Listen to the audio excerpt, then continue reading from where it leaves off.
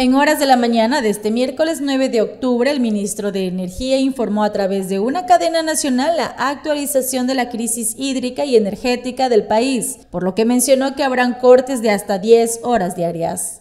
El nivel de la represa Mazar se encuentra cerca de su límite mínimo y las proyecciones indican que es necesario tomar decisiones inmediatas y firmes para evitar un colapso en el sistema eléctrico nacional.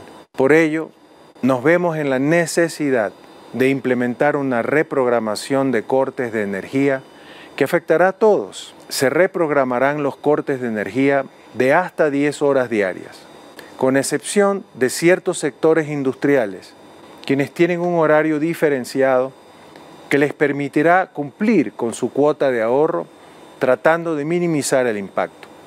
Los horarios de cortes de energía para los cantones de Napo quedan de la siguiente manera. Del jueves 10 al viernes 11 de octubre en Archidona, en la parroquia Muyuna y en el alimentador perimetral se suspenderá la energía desde las 6 de la mañana hasta las 11 y desde las 18 hasta las 22 horas. Lo que corresponde al sábado 2 y domingo 13 desde las 3 de la mañana hasta las 6 y por la tarde desde las 14 a 18 horas.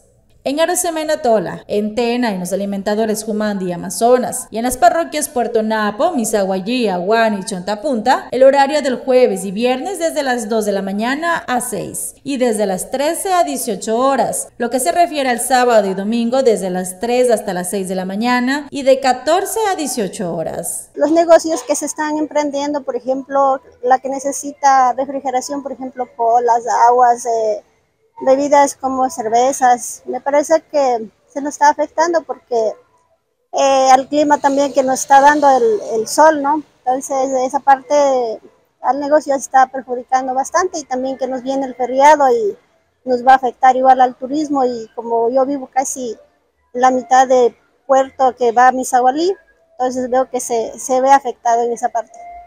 Que eso o no viene casi al caso porque la luz más se necesita en el día que en la noche porque muchas personas han de querer, no sé, disfrutar de la luz de todo con su familia, hacer cualquier fiesta y no van a tener luz, entonces va a estar un poco aburrido.